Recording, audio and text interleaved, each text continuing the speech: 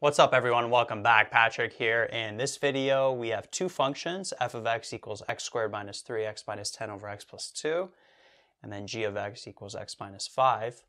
And they're asking, does f of x equal g of x? Well, the short answer is, uh, is no. But to dig in a little bit more specifically, why are they asking if this and this are the same thing? Right? You can kind of tell that just off the bat that they're very different, but they're also very similar. Now, this f of x, notice if we factor the top, we'll have x minus 5, x plus 2. And this is going to be over x plus 2. So notice the x plus 2's cancel out, and we're just left with x minus 5. Right? Which is the same as this function here. And so that's why you may be tricked after you do this simplification to say that, yeah, this and that are the same thing because we just end up with x minus 5 here. But you can't just look at this, you have to look at what you originally had. And because these x plus 2's canceled out, what that means is that at an x value of negative 2, which makes the numerator and the denominator equal to 0, there's a hole there. So this graph is this line with a hole at negative 2, while this line doesn't have any holes. So if we graph both of these, g of x, x minus 5, let's just do a rough sketch here. So um, have a y-intercept of negative 5. It will also have an x-intercept at positive 5. So that's just going to be a line like that. Right? There's no break in that line. Notice that the domain, this is g of x, the domain for this, XER,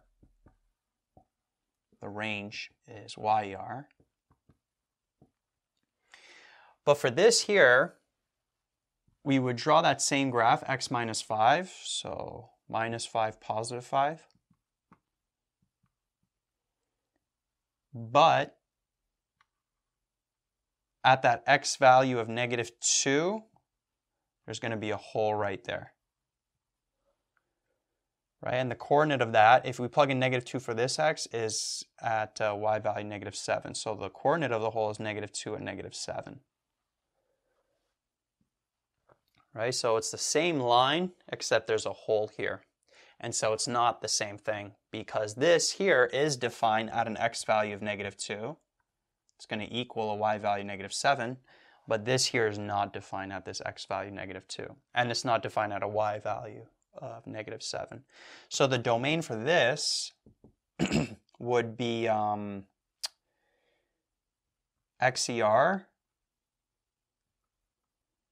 but x is less than negative 2 or greater than negative 2.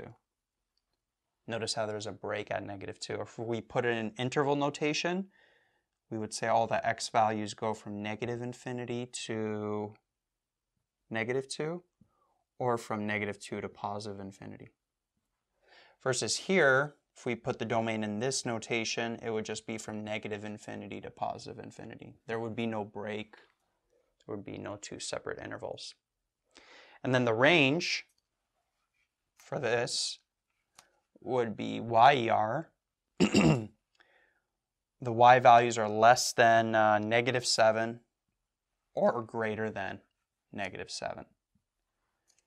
And in this notation, it'd be from negative infinity to negative 7, and then from negative 7 to positive infinity. Versus here, the range would just be from negative infinity to positive infinity. All right, so similar, but Answer is no, they're not the same, and it's because this function here has a hole at this coordinate, negative 2 and negative 7.